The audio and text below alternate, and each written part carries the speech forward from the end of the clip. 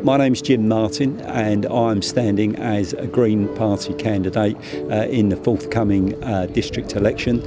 Uh, my entry into the Green Party was via the Save Princes Parade uh, campaign and I was struck uh, with regard to how the council have dealt with this proposal in terms of the undemocratic approach that they've taken.